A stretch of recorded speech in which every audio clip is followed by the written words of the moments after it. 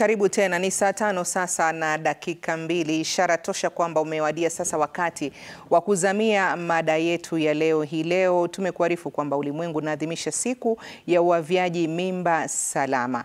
Ha, tukiangazia taarifa ambayo tunataka tuizungumzie kabla ya kuingia katika mada ni kwamba shinikizo alipo a, kwa namna ya kupata huduma hizi kama haki za wanawake humu nchini Kenya. Hata hivyo, mdahalo umeendelea kuhusiana na uavyaji mimba huku wakereketwa wa haki za uzazi wakisherehekea uamuzi uliozuia kukamatwa na kuchukuliwa hatua kwa wanaotoa huduma hizi. Mwanahabari wetu Brenda Wanga anatuarifu mengi katika makala yetu maalum ambayo huenda yakakatizwa baada ya wataalam wa Kikristo kuelekea mamlakani kupinga uamuzi huo.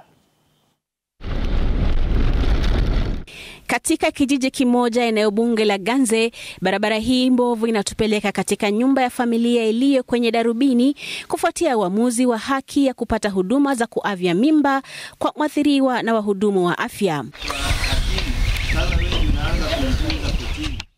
PK kama alivyotambuliwa kwenye kesi mahakamani, sasa ana miaka 19 na amemaliza shule ya upili.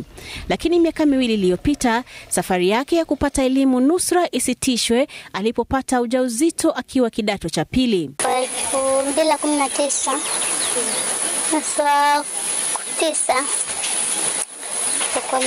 kwa miezi miwili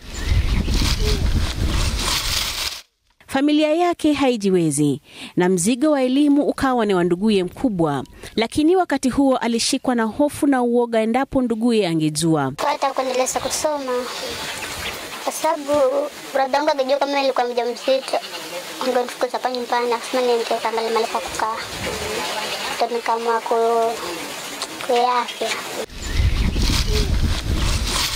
Huu ulikuwa mwanzo wa hali ambayo huenda ingekatiza maisha ya PK. Nilipogundua kuwa iko na ujauzito, niliamua kutafuta ushauri kwa marafiki. Sasa akaniambia na dawa kutumia hiyo mimba itatoka. Ingekuwa bradangu angejua kama iko mjamzito, ngeniambia niondoke hapa nyumbani nitafuta mtu wa kukaa, na sikutaka hivyo. Kaa siri asijue.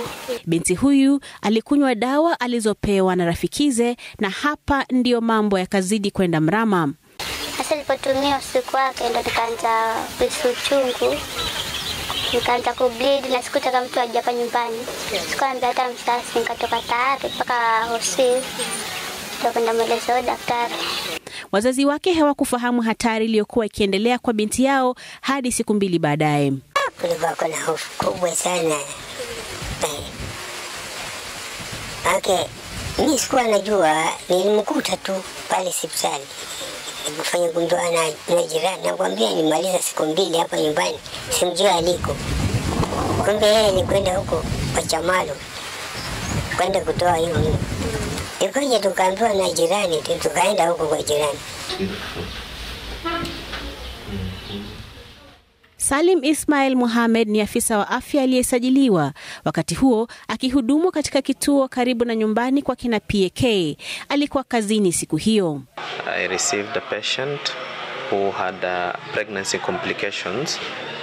So I uh, treated her like any other patient that is treated in the facility.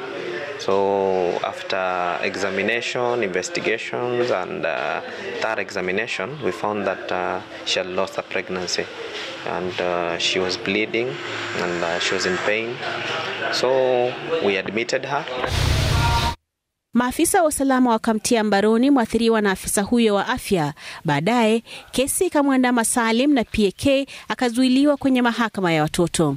We stay there for a day or two, then we are arraigned in court, whereby we were, um, I was uh, charged, we are charged separately abortion.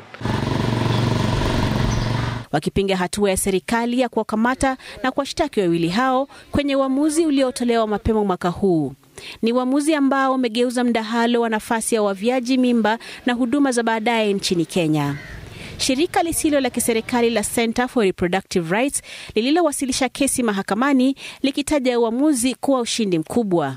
to the constitution and to facilitate women and girls to access abortion as prescribed in the Constitution without unnecessary limitations, without unnecessary restrictions. Mm-hmm. The court also declared that the communication between a provider and the patient is privileged and protected in law and cannot be forcefully accessed and can also not be used to charge a provider or a patient for any criminal offense. Hata hivyo, kundi la wataalamu wa Kikristo nchini limepinga uamuzi. Charles Kanjama ni wakili wao. The main idea of the Malindi uh, court judgment was to say that there is a right to abortion. And those are words that have not been used in any Kenyan law before uh, the Malindi decision.